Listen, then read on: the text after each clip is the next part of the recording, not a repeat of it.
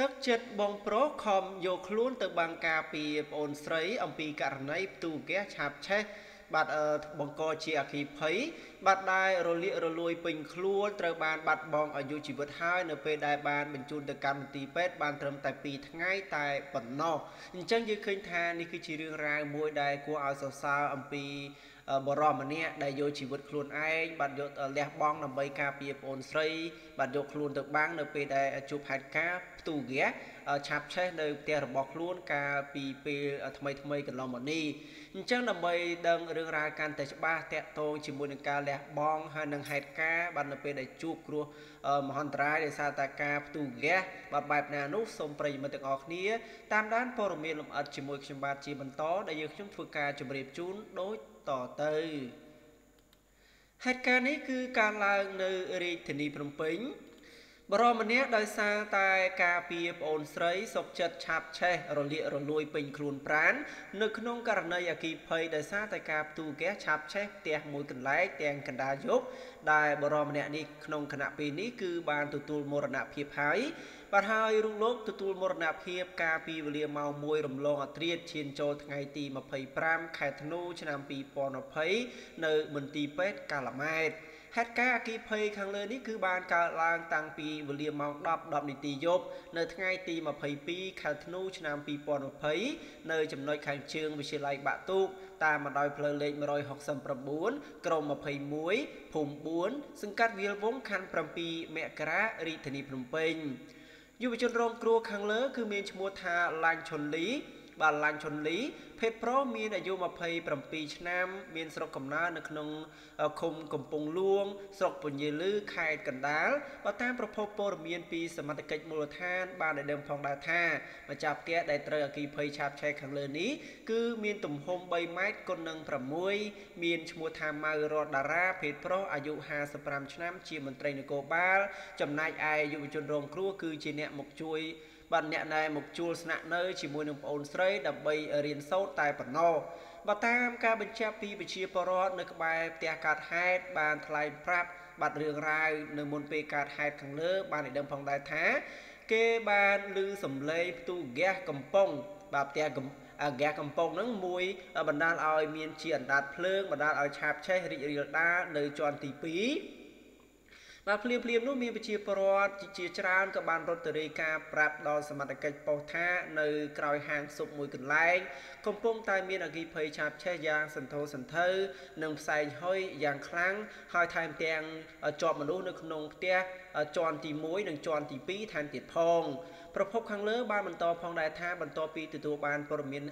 ភ្លាមភ្លាមនោះសមាជិកមូលដ្ឋានក៏បានចុះទៅដល់នឹងកន្លែងកើតហេតុឃើញស្ថានភាពធ្ងន់ធ្ងរពេកក៏ទំនាក់ទំនងហៅរថយន្តពន្លត់អគិភ័យឲ្យចុះមកជួយអន្តរាគមន៍បាញ់ពន្លត់អគិភ័យបាត់ចំនួន7គ្រឿងដោយប្រើប្រាស់ទឹកបាញ់ពន្លត់អស់ចំនួន5គ្រឿងទើបអគិភ័យនឹងបានរលត់ទាំងស្រុងនៅវេលាម៉ោង11យប់ថ្ងៃដដែលនោះ បើតាមប្រភពខាងលើបានបញ្ជាក់បន្តផងដែរថាចំពោះហេតុការណ៍នៃការឆាបឆេះជាន់ទី2បាទគឺបណ្ដាមកពីការផ្ទុះធុងហ្គាសបាទហើយនៅក្នុងហេតុការណ៍អគិភ័យកំពុងឆាបឆេះនោះផងដែរទឹកចិត្តបងប្រុសព្រោះតែព្យាយាមការពារប្អូនស្រីពីអគិភ័យសុខចិត្តឆេះខ្លោចខ្លួនឯងលូកដៃដង្បាទលូកដៃដង្ហាយហាវឲ្យគេជួយសង្គ្រោះដោយសារតែផ្ទះកាត់ហែកត្រូវចាក់សោពីខាងក្នុង ហើយត្រូវចំណាយពេលយកកន្ត្រៃកាត់ជាង20នាទីទើបអាចចូលមកយកបរោះម្នាក់នោះដែលរងរបួសរលាកពេញខ្លួនយ៉ាងធ្ងន់ធ្ងរជាមួយនឹងប្អូនស្រីបានរបួសស្រាលដោយសារតែភ្លើងឆេះស្នាក់នៅជាន់ទី2ចំណែកឯនារី3នាក់ផ្សេងទៀតស្នាក់នៅជាន់ទី1រងរបួសស្រាលត្រូវបានរថយន្តសង្គ្រោះបន្ទាន់ដឹកយកទៅមន្ទីរពេទ្យកាឡាម៉ែតហើយក្រុមវិជ្ជាបណ្ឌិតជំនាញនៃមន្ទីរពេទ្យកាឡាម៉ែតបានខិតខំប្រឹងប្រែងជួយសង្គ្រោះបាត់ដែរប៉ុន្តែរបួសរលាកពេញខ្លួនធ្ងន់ធ្ងរខ្លាំងពេកជាអកុសលបរោះរងគ្រោះខាងលើ បានលាចាកលោកគ្មានថ្ងៃត្រឡប់វិញនោះទេបើបើតាមក្រុមគ្រួសារនៃសពបានឲ្យបណ្ដាញសារព័ត៌មានដឹងផងដែរថា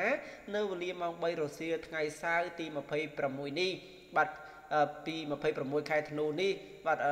សពនឹងត្រូវដង្ហែទៅតម្កល់ធ្វើបុណ្យនៅក្នុងវត្ត អឺសង្វរបាទនៅក្នុងភូមិសង្វរឃុំកំពង់លួង ស្រុកពញាលឺខេត្តកណ្ដាលហើយបាទហើយត្រូវបូជានៅវេលាម៉ោង7យប់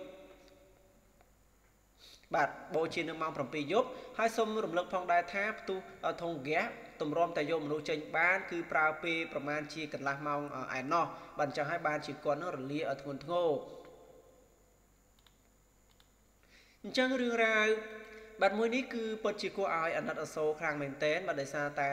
មិនមែនជាផ្ទះខ្លួនឯងទេគឺជាផ្ទះជួលបាទធុងហ្គាសហ្នឹងគឺមិនមែនធុងហ្គាសទេគឺបាទកំប៉ុងហ្គាសដែលសារតែយើងដឹងហើយបាទនៅផ្ទះជួលភាគច្រើនគឺពួកគាត់ប្រើកំប៉ុងហ្គាសបាទជាមួយនឹងឆ្នាំងហ្គាសបាទទូចទូចហ្នឹងបាទដាំបាយធ្វើម្ហូបបាទអញ្ចឹងហើយនៅពេលដែលផ្ទុះ ឆេះឆាប់ឆេះនោះគាត់ប្រលត់អត់តាន់បាទក៏បណ្ដាលឲ្យមានហេតុការណ៍នេះកើតឡើងតែម្ដងហើយដោយសារតែការឆាប់ឆេះកាន់តែខ្លាំងទៅខ្លាំងទៅបាទតម្រុំតែគេជួយបានបាទធ្វើឲ្យបរិសម្នាក់នេះរលាកពីពេញទៅខ្លួនតែម្ដងស្លាប់ទាំងវ័យក្មេងហើយប្អូនស្រីនោះក៏បានធ្វើការ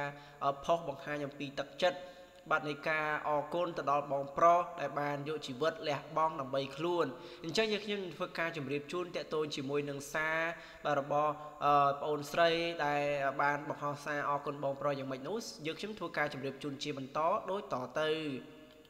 បាទតាមរយៈគណនី Facebook មួយបានធ្វើការបង្ហោះលើបណ្ដាញសង្គម Facebook ដែលជាគណនីបាទត្រូវជាប្អូនស្រីបានបង្ហោះសរសេរផងដែរថាអរគុណបង បាទអរគុណបង ដែលធ្វើជាកូនល្អធ្វើជាមនុស្សល្អបាទជាពិសេសគឺបងបានបំពេញតួនាទីជាបងប្រុសដ៏សែនល្អបាទអាប៉ូលីនប្អូនស្រីមានសវត្ថភាពឲ្យបង បាទនៅទីកន្លែង បាទទៅទីកន្លែងស្ងប់សុខណាបងប្រុស បាទនេះគឺជាការផុសបាទរបស់បងអូនស្រីដែលបានសរសេរផុសបាទតេតិនជាមួយនឹងអឺការសោកស្ដាយជាពន់ពេកដែលបាត់បង់បងប្រុសហើយបងប្រុសហ្នឹងបានដោយសារតែជួយបងអូនស្រីបាទឥឡូវនេះគឺត្រូវបានបាត់បង់អាយុជីវិតខ្លួនឯងនៅក្នុងគ្រោះមួយនេះបាទអញ្ចឹងយើងឃើញហើយបាទដោយសារតែ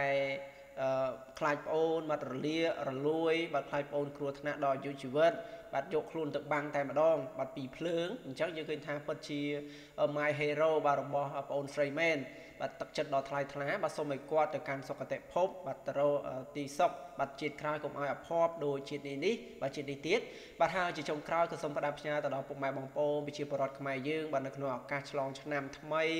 បាទសេរីសុស្ដីការអវល ត្រឡប់ទៅស្រុកកំណើតបាទការធ្វើដំណើរនៅលើដងផ្លូវបាទសូមឲ្យសុខសុវត្ថិភាពទាំងពេលទៅនិងពេលត្រឡប់មកវិញបាទជាពិសេសគឺ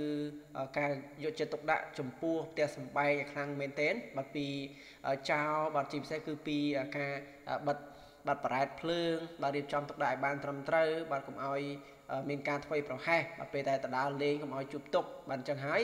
សូមឲ្យសុខសប្បាយបាទសុខសុវត្ថិភាពទាំងអស់គ្នាឆ្នាំថ្មីជួបតែសេរីសួស្តីបាទឆ្នាំចាស់បាទសូមឲ្យភាពសោយទាំងឡាយនឹងទៅតាមឆ្នាំចាស់អស់ដូច្នេះព័ត៌មានមួយនេះយើងខ្ញុំក៏ធ្វើការបញ្ចប់អរគុណប្រិយមិត្តទាំងអស់គ្នាសម្រាប់ការតាមដានហើយចុងក្រោយសូមកុំភ្លេចជួយចុចពាក្យ Subscribe ក៏ដូចជាដាក់សញ្ញាកណ្ដឹងដើម្បីទទួលបានវីដេអូថ្មីៗមុនគេពី Channel យើងខ្ញុំសូមអរគុណច្រើនសូមជម្រាបលា